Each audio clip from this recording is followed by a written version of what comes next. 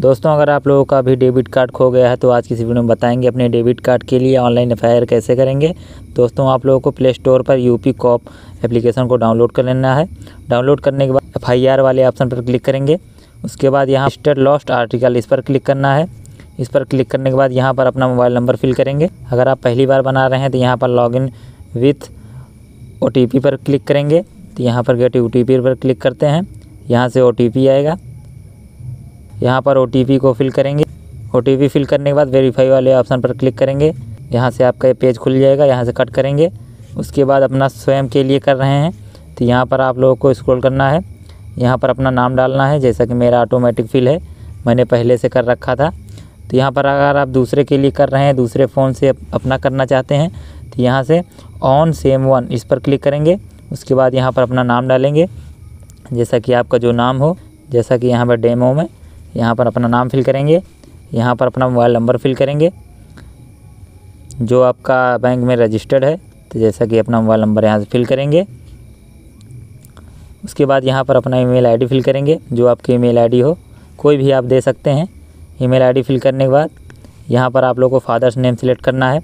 आधार card में आपको देखने के लिए मिल जाएगा। उसके बाद यहाँ पर एड्रेस का ऑप्शन शो होगा। यहाँ से एड्रेस अपना फिल कर देंगे, जैसा कि आपको देखने के लिए मिल जाएगा। आपके आधार कार्ड में तो यहाँ पर अपने सिलेक्ट कर सकते हैं अपने हिसाब से।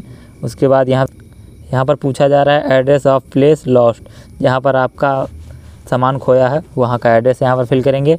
जैसा कि आप, जहाँ पर आपका डेबिट कार्ड खो गया है, घर में कहीं भूल गए हैं तो यहाँ पर आप अपना लिख सकते हैं। इंग्लिश में आप लोग लिख सकते हैं my debit card lost in my home यहाँ पर अपना लिख सकते हैं।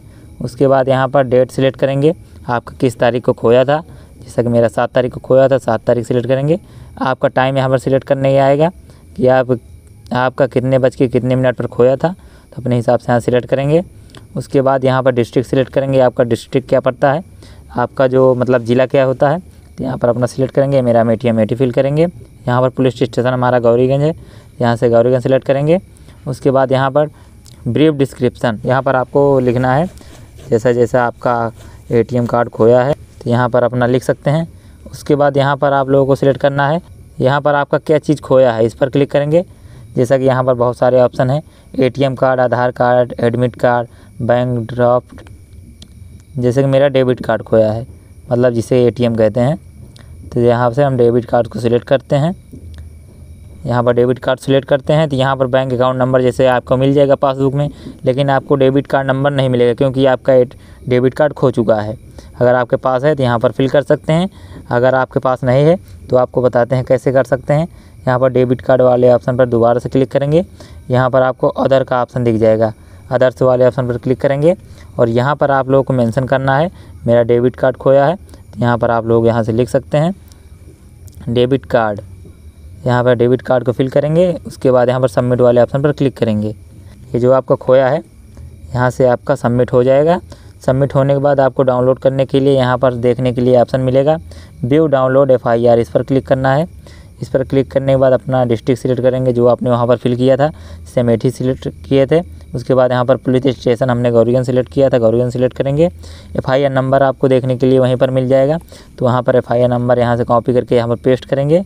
आपने किस तारीख को सिलेक्ट किया था तो यहाँ से किस तारीख से किस तारीख तक यहाँ से आप लोग ये सिलेक्ट करेंगे। उसके बाद सर्च वाले ऑप्शन पर क्लिक करेंगे। जो आपका होगा यहाँ पर आपको देखने के लिए मिल जाएगा। जैसा कि जो मैंने तारीख सिलेक्ट की है, इस तारीख से श्री जाकिर हुसैन ने यहाँ पर एक कंप्लेंट दर्ज कराई है। यहाँ से आप लोग इसे डाउनलोड कर सकते हैं, देख भी सकते हैं। देखिए डाउनलोड वाले ऑप्शन पर क्लिक करते हैं। यहाँ पर आपको दिखाते हैं कैसे दिखाई देता है। यहाँ से इसे डाउनलोड करने के बाद आप लोगों को यहाँ पर व्यू पीडीएफ व्यूअर पर क्लिक करेंगे। उसके बाद यहाँ से आपके सामने किस किस कारण से यहाँ पर ये यह सूचना रिपोर्ट लिखाई गई थी। इस तरीके से आप लोग ऑनलाइन एफआईआर कर सकते हैं। तो मिलते हैं नेक्स्ट वीडियो में। जय हिंद।